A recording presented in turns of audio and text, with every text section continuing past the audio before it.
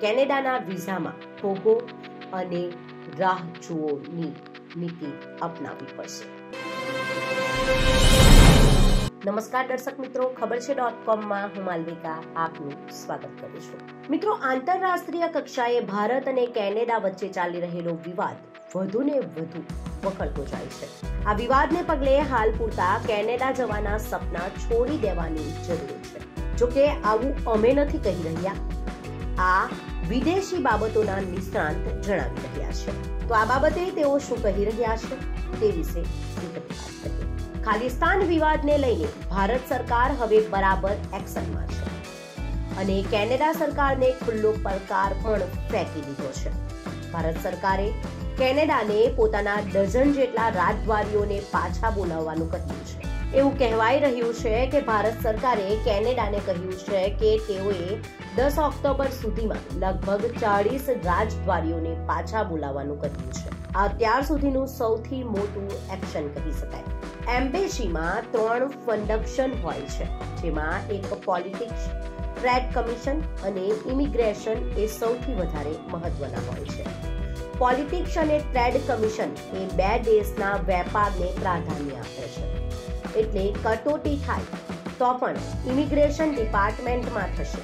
જો ભારતમાં ઇમિગ્રેશનના અધિકારીઓ ઓછા થશે તો તેની સીધી અસર વિઝા પર થશે. ભારતે કેનેડિયનને તો વિઝા આપવાના બંધ કરી દીધા છે. હવે ભારતમાંથી જે અધિકારીઓ કેનેડાના વિઝા જાહેર કરે છે એમાંથી પણ સ્ટાફ ઓછો થાય તો હાલમાં કેનેડા જવાના સપના જોતા લોકોએ થોભો અને રાહજુઓની નીતિ અપનાવવી પડશે.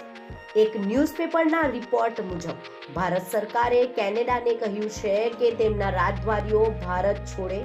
આ સમગ્ર મામલાની જાણકારી ધરાવતા લોકોએ કહ્યું કે, મોદી સરકારે કહ્યું છે કે કેનેડાના ચાળીસ ડિપ્લોમેટ્સ દસ ઓક્ટોબર સુધીમાં ભારત છોડી દેવા આદેશ કર્યો છે. ભારત સરકારે આ વાતના પહેલેથી જ સંકેત આપ્યા હતા. જ્યારે વિદેશ મંત્રાલયે કહ્યું હતું કે કેનેડાના વધુ પડતા રાજદ્વારીઓ અહીં તૈનાત છે. આવામાં તેમની સંખ્યા ઓછી કરવાની જરૂર છે. હજુ જો કે કેનેડાનું તેના પર કોઈ રિએક્શન આવ્યું નથી, પરંતુ એવું મનાય છે કે કેનેડામાં પણ ભારતીય ડિપ્લોમેટ્સની સંખ્યામાં કમી આવી શકે છે. ભારત તરફથી કેનેડા વિરુદ્ધ આ ચોથું એક્શન છે ભારત કોઈ પણ સંજોગોમાં આ મામલે ઝૂકવાનું નામ લેતું નથી. ભારતે સૌથી પહેલા કેનેડાના એક ગુપ્તચર અધિકારીને દેશ છોડવાનો આદેશ આપ્યો હતો. પછી વિઝા સેવાઓ બંધ કરી હતી અને કનાડના નાગરિકોની ભારતમાં એન્ટ્રી પર રોક લગાવી હતી. એટલું જ નહીં, ભારત સરકારે કેનેડાની મુસાફરી કરનારા ભારતીયો માટે એડવાઇઝરી પણ બહાર પાડી હતી. આમ, આ રીતે મોદી સરકારે કેનેડા વિરુદ્ધ આ ચોથું પગલું ભર્યું છે. અત્રે જણાવવાનું કે, જૂનમાં કેનેડામાં એક ખૂંખાર ખાલિસ્તાની આતંકી હરદીપસિંહ નિજ્જરની હત્યા થઈ હતી.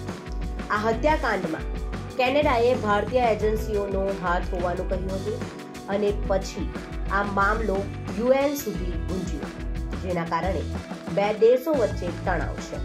ભારત સતત આ આરોપો ફગાવી રહ્યું છે.